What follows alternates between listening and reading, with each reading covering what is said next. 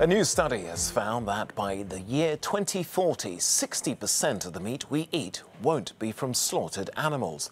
Instead, it's predicting a massive shift to lab-grown meat alternatives. Well, to discuss this future, I'm joined now by Jonathan Breemhaar. He's lead engineer at Mosa Meat, a Dutch company that developed its first lab-grown meat burger back in 2013.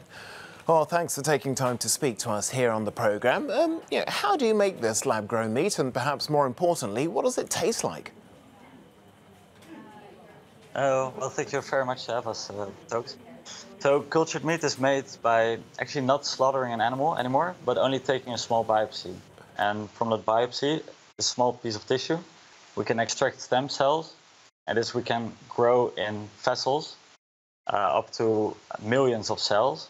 And in the second step, we create from this dish, uh, from these cells, we create muscle tissue and fat tissue.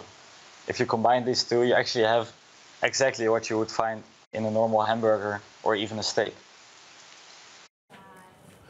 So, you know, some viewers might find that's not very appetizing. How are you going to get over the, you know, enormous hurdle of selling this to people?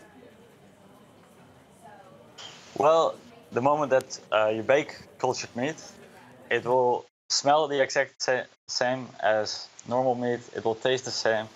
So, um, of course, there's a thought of how is it produced, but we don't see that as a big problem because currently people are also not that interested in how their meat is uh, raised and slaughtered. And the way we see it is using technology, making things much more transparent, will be more appealing to the general public.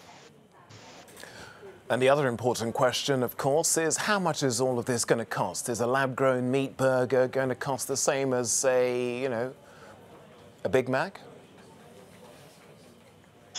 Well, eventually it will be. Uh, currently, we're still uh, having to pay a large price because we're doing lab scale experiments. But the moment that we're scaling it up, uh, it will decrease in price and we will be able to compete with the animals. Jonathan Breemhaar there, thanks for talking to us. And I should also remind the viewer that other large burgers are available too.